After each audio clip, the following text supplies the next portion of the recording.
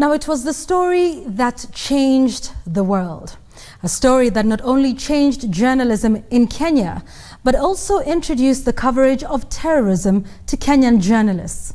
Tonight on special assignment, Asha Mwilu tells the untold story of the scribes who documented the 1998 bombing in Nairobi. Friday, August the 7th, 1998 began like any ordinary news day for journalists across the city of Nairobi. The tea lady, Joki, had just come and served me a cup of tea on my table. And we were joking about the tea and saying, today is Friday, many reporters are out, so today I can have two cups, maybe two and a half. As KTN news anchor and reporter Christine Nguku waited for her morning tea, her colleagues from different newsrooms were already on their day's beat. Yusuf Ali, then a reporter with state broadcaster KBC, was covering a press conference between the then Trade Minister J.J. Kamotho and the then U.S. Ambassador Prudence Bushnell. Linus Kaikai, then a young reporter with KTN, was covering an economic conference along Mbagathi Way. Ondeko Aura, also a budding reporter then at KBC, was at County Hall awaiting proceedings of the Akiwumi Commission. And Yusuf Washira, who then headed Nation Newspaper's camera unit, had assigned all his men and waited in the newsroom for any urgent assignment. It seemed like there was a shaking of the building, just slightly, either the building or the, the furniture. So the tea had spilt a little bit. So we thought, hi, that was quite an explosion that the tea has actually spilled. Most of the guys on wako hapo. Yusuf Ali had just exited the concluded Kamotho Bushnell press briefing to cover a bankers' strike downstairs at Cooperative House. We had a mild blast.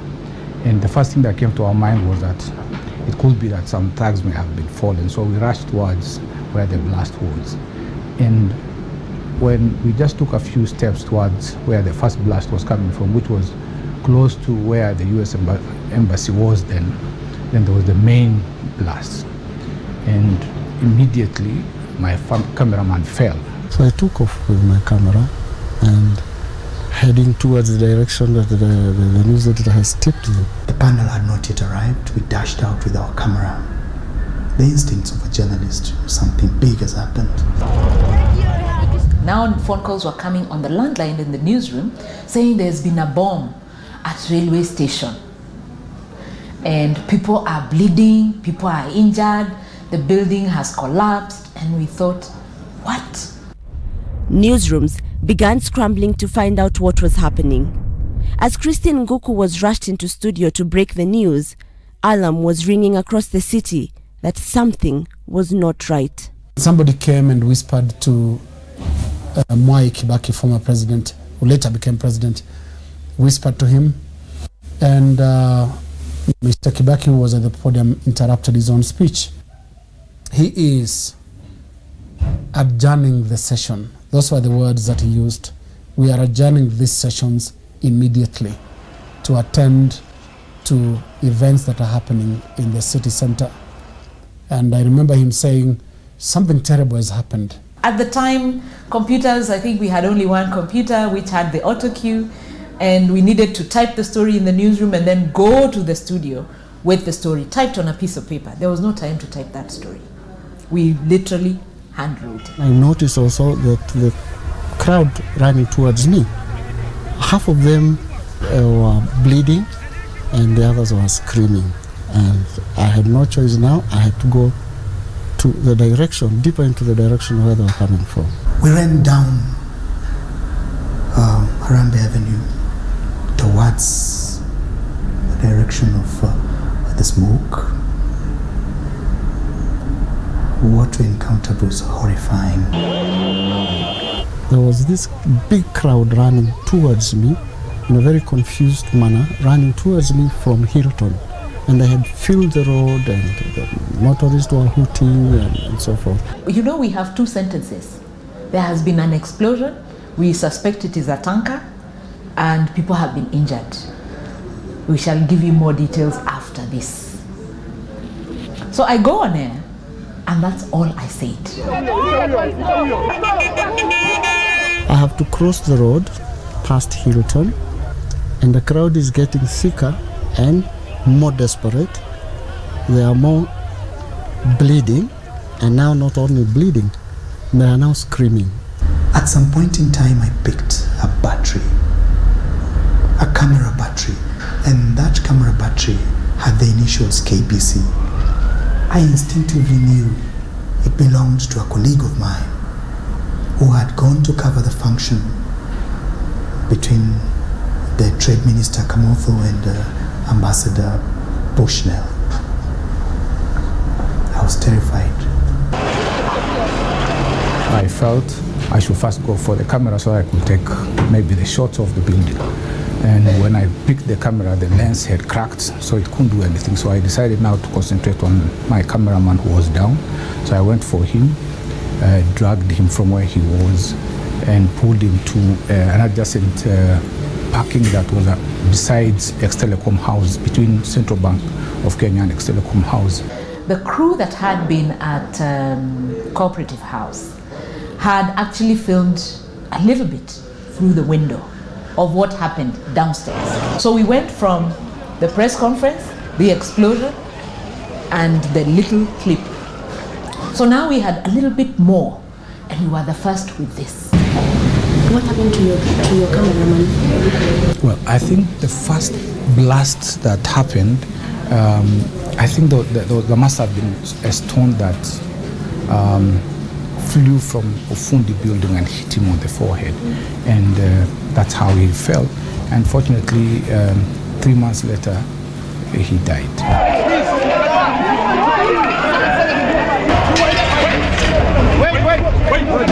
We arrived at the door of Cooperative House where there was a lot of activity, and we saw the scene that met us there was that of Joseph Kamotho, the minister uh, for commerce and industry at the time, being carried out of the building. I remember uh, the bodyguards holding him.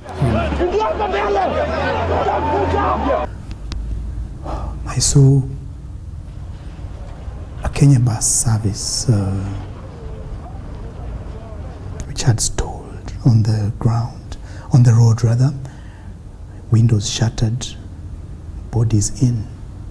We also saw Prudence Bushnell, who was in that same building for a meeting, leaving the building as well, again being uh, escorted by aides. What am I shooting is sudden collapsed building. It looks so fresh because it's still, the rubbles are still, the debris are still moving from the top downwards to the road.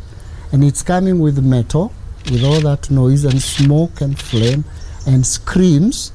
There are people being carried by the debris. And then there was this image that stuck to my mind to date. Seeing a police officer running, but family holding on to his firearm. And they were trying to convince him that they need to go to hospital. And I remember the AP officer was resisting.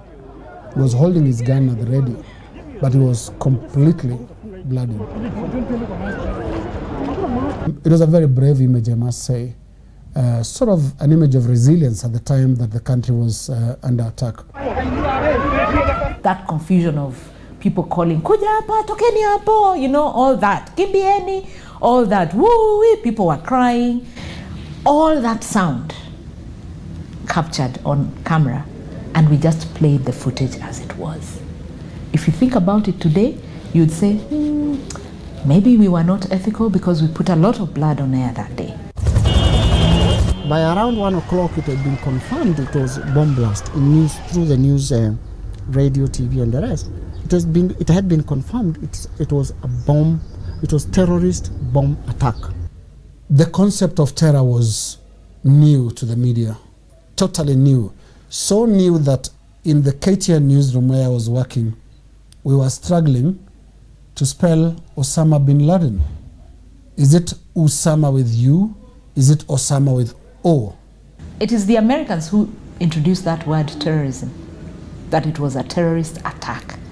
So we thought, what is terrorism? Not that we didn't know what it means, but now we wanted to understand it in our context.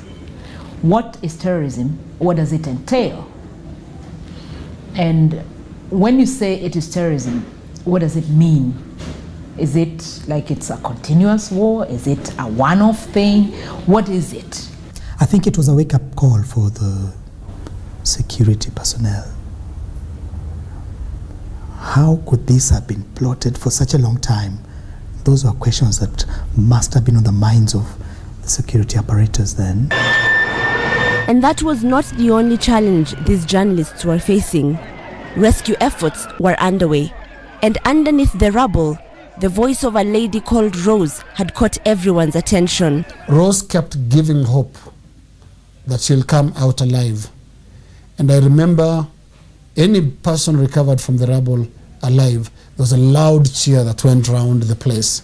There was a huge effort psychologically, morally, physically, trying to just get Rose to come out. The Israeli security defense forces team that came to assist brought in a lot of oxygen um, cylinders.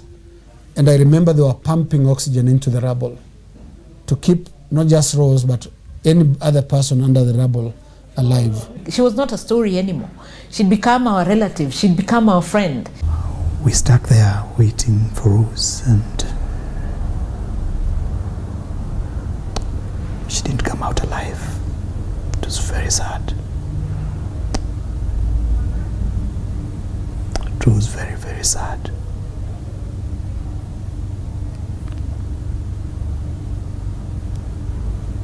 I remember another person who was very badly affected by that was Linus Kaikai. I felt the terrorists are winning again. They exploded the bomb a few days earlier, killed a lot of people instantly. And here now, the one person that the country has been waiting to come out alive, she dies. Rose dies. I felt defeated. I felt this is terrible. We were totally broken down. And indeed, yes, I was broken.